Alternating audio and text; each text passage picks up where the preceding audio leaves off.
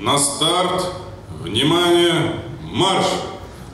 Площадка открыта. Умные современные спортивные площадки появились сразу в трех точках Бурятии – Улан-Удэ, Гусиноозерске и поселке Аршан Тункинского района.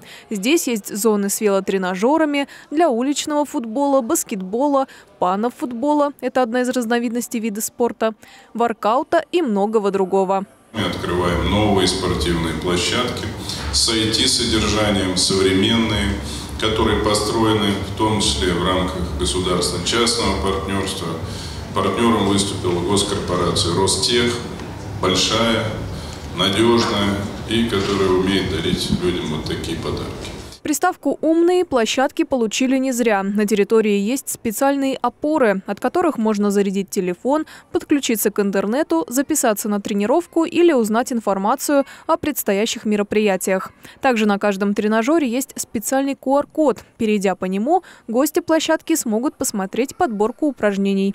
Получили хорошие условия для занятия спортом, для физического развития, просто для общения, для того, чтобы быть сильными, здоровыми, развитыми и уверенно двигаться вперед. Площадки в Улан-Удэ появились сразу в двух парках – имени Орешкова и Юбилейном. Их построили в рамках проекта «Бизнес-спринт». Бурятия стала пилотным регионом, где появились подобные комплексы. Дарья Белева, телекомпания АТВ.